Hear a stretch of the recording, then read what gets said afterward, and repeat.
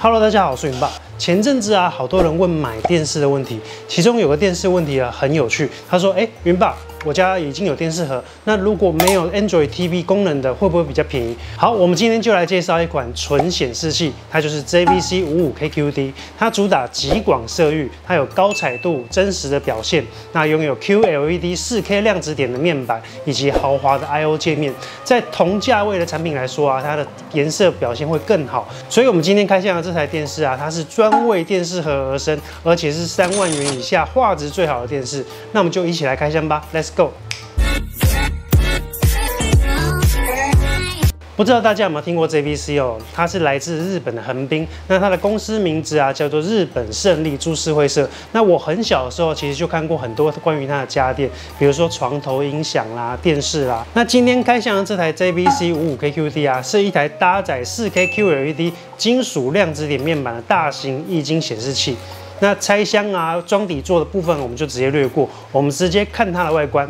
它的机身尺寸哦为一二三五乘七七三乘二三八，那重量大约是十四公斤。那你家里的电视柜啊，量一下确认一下尺寸之后再购买。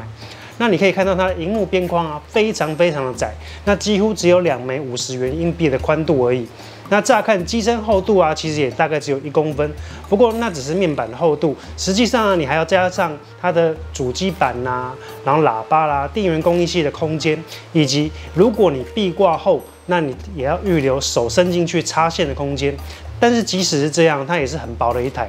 在显示器的左下方是很小很小的白色状态灯，那机身的操作按键都放在右后方，你手稍微伸进去，哎，就可以按得到。那在正下方有一条大概一公分左右的法丝纹金属面板，那两组喇叭也位于下方。那我在安装的时候就发现啊，金属量子点电视啊，跟传统的液晶电视最大的差别啊，除了它的画质会更好之外啊，它的重量也变得很轻。整台哦含底座只有十九点二公斤，那壁挂的压力就会变得很小。好，再来我们来直接看重点，就是它的画面表现啊。这一台电视哦，是你走进卖场，是一台能够看得到差别的电视。那接下来我们来直接看一下画面，这些都是我直接翻拍 Netflix 正在播放的画面。那颜色啊，饱和到像剧照一样。那传统我们买电视啊，第一个就是比解析度，看它是 Full HD 还是 4K 还是 8K 哈。那都一样的话，我们就开始比颜色的差异。目前主流电视常见的排行榜啊，是 QLED 等于 OLED 再大于 LED。那 LED 的效果是显示最差的，那 QLED 跟 OLED 是最好的。亮指点面板的显色特性啊，就是它色彩饱和度高，显色数高，可以接近人眼看到的画面。那 JVC 五五 KQD 啊，采用的是二代四 K QLED 的金属量子点十倍的面板，那它结合了量子点科技以及二代四 K 的全面屏荧幕，那带来超越百分之一百零七的显色科技，用更宽广的色彩表现力，展现更奢华的视觉响应。再来，我们要看到亮度。目前入门级的电视啊，通常都是全域控光，一般亮度都是在二二零到二五零 nit 之间。那 JVC 五 KQD 啊，它的亮度已经逼近高阶电视机种，它的亮度有三百尼特，在峰值的亮度是三百五十尼特，已经是逼近高阶机种的水准。那那对比也有四千。这台 JVC 五五 KQD 啊，它采用的是直下式精准区域控光，一共有十六区的智能背光处理系统，比一般中阶的电视啊分区控光还要再更精准一点。它会侦测每一格画面的明暗分布，那自动调节它的背光。那当画面的明暗反差很大的时候啊，它可以精确的独立调整不同区域的亮度，让亮处更亮，暗处更暗。简单的说，就是对比会更高，层次会更丰富。那同时，像你在追剧的时候啊，那些人物的肤色。啊，在呈现也不会呈现一片死白，会更有层次，更有通透感。那另外，它还支援这个 Crystal Motion，它可以针对球赛啊、动作片啊这种场景进行运动估算以及动态补偿。那它配合 LED 的背光扫描，它可以精准的复制场景，那提供最大的清晰度。那接下来世界杯啊，足球赛快到了，应该会很需要这个功能。那我这边也翻拍一下我最近看的一些运动的画面。那这台 JVC 五五 KQD 啊，它也有画质升平的功能，也就是补差点的技术。那它会透过临近的像素去补满这个解析度放大的空隙。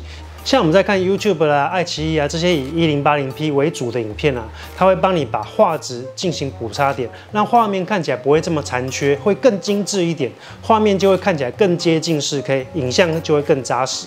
好，再来我们来简单看一下它的系统哦。JVC 五五 KQD 啊，它打开的画面是长这样。那它有内建爱奇艺，它可以看一下那些免费的卡通啊或综艺。爱奇艺里面呢，其实就有很多免费的卡通综艺可以看。那家里有小朋友的，可以找一下它的免费专区，真的还不少。我家里小朋友的话，还蛮喜欢看这些卡通的。那如果你要看其他更精彩的内容的话，那你也可以外接。那看你要是接电视盒啦、机上盒、MOD 或者是 4K 版的小米盒子。或者是 Apple TV，所以我们接下来看一下它的扩充 I/O 界面。那 JVC 五五 KQD 啊这一台的 I/O 界面呢，其实给的很满，很有诚意。那有四组的 HDMI 二点零，一组 USB 三点零，而且它的 I/O 接口啊放在两侧，就是手稍微这样绕到后面，哎就可以直接插得到。这一点我觉得还蛮贴心。而且机身背面呢也有壁挂孔。那如果你有上墙的需求的话，你也可以加购壁挂服务。那再来我们来看到这支遥控器哦，它其实是一般的红外线遥控器。配置相当简单，它没有一般电视常见的数字键，所以因为没有数字键，那它的背后也没有一般传统的 cable 接口，所以它真的是一台显示器，而不是电视。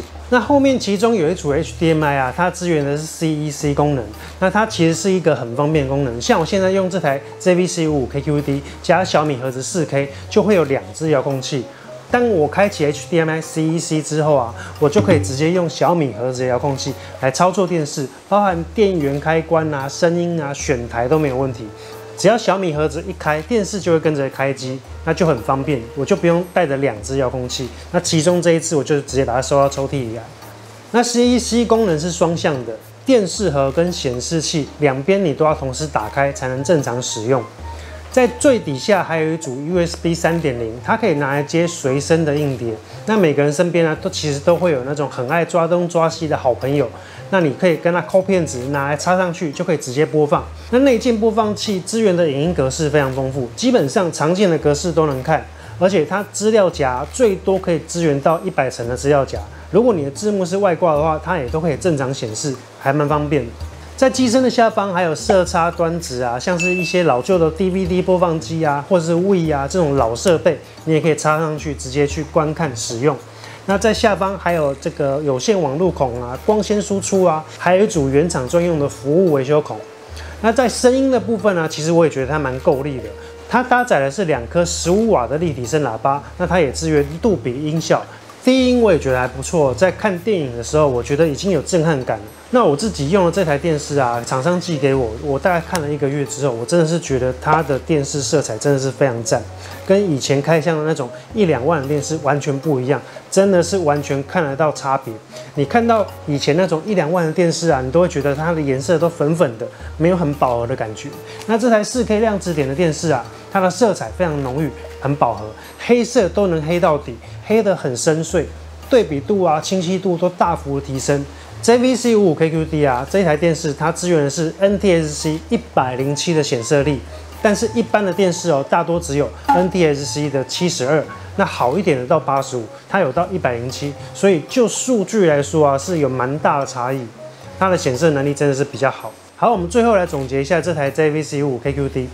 那目前市面上的量子点 QLED 电视啊。画质跟颜色都是上选，那喜欢追剧看片的朋友啊，选量子点就对了。那有在乎画质、色彩饱和度的朋友啊，画质有多好，我其实都拍给你看。那目前量子点 QLED 的电视啊，普遍售价都来到五万左右，好，五十五寸了。那 JVC 五五 KQD 啊，让售价直接跌到三万有找。那你没预算没关系，现在你可以用三万以内的预算直接买到量子点，实在是非常划算。那目前这台电视啊，其实在某某就可以买得到。那如果有需要的话，我会把链接放在底下的说明栏。那有什么问题的朋友，欢迎在底下留言。我是云爸，我们就下次影片再见喽，拜拜。